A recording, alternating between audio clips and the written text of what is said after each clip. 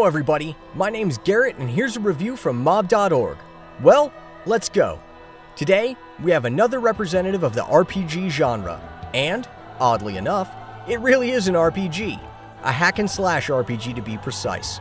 The most prominent representative of this genre is the Diablo series, the unforgettable brainchild of Blizzard. And, if you've played it, you have an idea of what we'll be talking about. Welcome the game named Iesabel. First, a few words about the difference between an RPG and a hack and slash. In an RPG, the most important element is the role you play, the character's life, dialogue, and decision making. While in a hack and slash RPG, the battle systems and skill upgrades come first. So it was in Diablo, so it is in Iesabel. At the beginning of the game, you choose who you will play as. The game doesn't really distinguish itself with a variety of classes, there are only two of them a witch and a warrior. As you can guess, the witch is a character for long range combat, and the warrior is intended for close up brawling. Besides, I think that there is a slight imbalance between the two classes.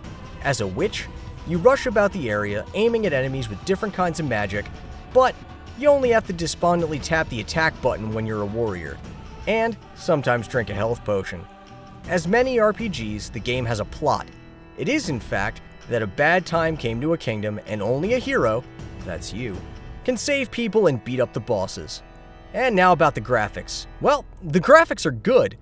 One can see that everything is drawn very well and very carefully here. The design of the levels, at least the first ones, made me happy. The locations are lush, filled with objects, there's no feeling of a lack of life and emptiness of a surrounding world. Even the grass is moving in the wind. The gameplay lies in exploring the maps, slashing enemies, and upgrading your character. And collecting things, of course. There are a lot of things falling out all over the place, and your stock is divided into multiple categories one for armor, one for weapons, and so on. Obviously, you level up when you kill different beasts. You can gain new skills from one level to the next and become the cool man and go on to success. As you see, the system is classic.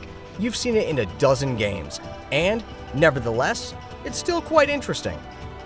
Talking about the controls, it's set up with the help of different keys on the screen. Run with the joystick and attack by tapping a corresponding key. Spells and skills are applied in a similar manner.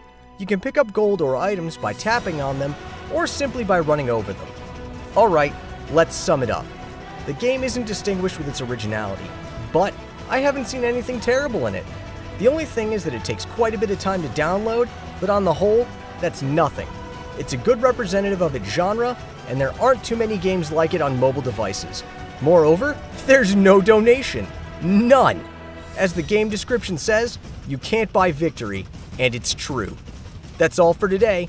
Subscribe to the channel, give us a thumbs up, and share with your friends. This was Garrett. See you soon.